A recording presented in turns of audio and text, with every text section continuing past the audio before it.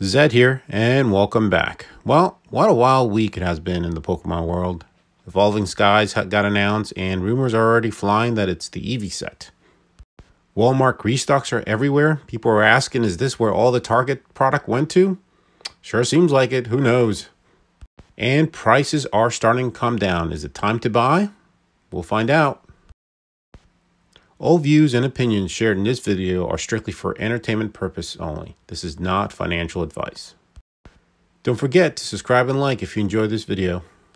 The view from a binder collector's eyes, it's great and it's also hard to keep up with all the sets coming out. My advice to anyone out there is to stay focused and decide what you really need to buy or collect. Listen, if you have lots of money to spend on shiny cardboard or if you're in the hobby as an investment, then I'm happy for you but it's simply not me. Now, don't get me wrong, I do enjoy knowing that some of my cards are worth something now, but I was also on the other side of this uh, a couple years ago. You know, I had a large collection and it was basically worth nothing. Now, um, you have to realize that it will come a time where things go up and down, and you have to be okay with that.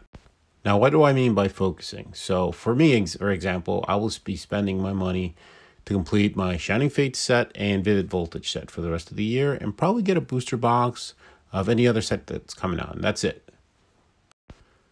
With uh, Chilling Reign, for example, coming out, I have a couple booster boxes coming and that's it. Not even planning on getting the ETB since there's really no promo card in there. And it's not a special set. So I will open a couple packs and move on. Now, my strategy for Evolving Skies would be the same which is rumored to include the Eevee Heroes set as well. So it's going to be a fairly large set. In other news, restocks have been hitting my local Walmart. Now, they're sitting behind the customer service desk and they're limiting two per customer, which is great. I was able to pick up two of the ETB Plus uh, boxes. They had about 15 of each, which I was real surprised, and also about 20 Shining Fates ETBs along with their regular Pokeball tins and single boosters. Now, I doubt that it's because Target stopped selling at certain locations and their stock got moved to Walmart, but uh, it's probably more with the scalping of it, of Shining Fates, and no one's able, you know, to sell them, probably. No one's buying them over MSRP anymore.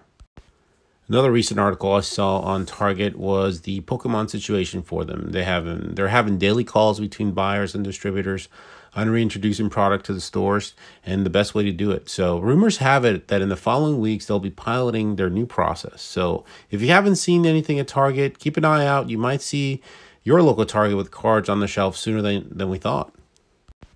Now, how about this market dip? Is it time to buy? Well, I would say not for me.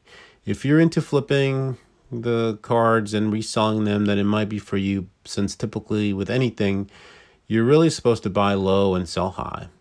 But I mean, I still see more of a bottom to go as people exit the hobby, scalpers start leaving, and more product is on the shelves. Things will come down even more, I think, anyways. I wouldn't even be surprised to see some LGSs start moving some of the battle styles product just to get rid of them with Chilling Reign down down the path. Um, so keep an eye out for good deals on that. Now, Walmart again in the news this past week had a really sad video shared showing what seems to be scalpers, resellers just waiting outside the store. When it opens, they go running in a panic over to the card section and they just start going in a frenzy. You know, I hate seeing this type of stuff and really hope that others see it and just realize that's not just not the way you want to do it. And that's not the example we want to set for other uh, collectors or kids that might be watching. The last thing I kind of want to talk about was, you know, um, one thing I've realized is I've consumed a lot of this new and old YouTuber entertainment and, and content out there this past year is realizing what is entertainment and what is here to profit. So, you know, with that being said, just please be real careful on where you put your money. There is no guarantees in this market. There's no one that knows what's going to happen in the future with prices. So don't overstretch yourself. You know, just enjoy the hobby. Encourage new players, new collectors um, to the hobby. And remember, this is just the shiny cardboard that we enjoy to collect and look at. The best thing we can do is make the best choices we can with the information that's out there. So there's plenty of it. So do your research. Just remember, the larger the purchase, the more research you should do. So by doing this, you will hopefully avoid some of the risk.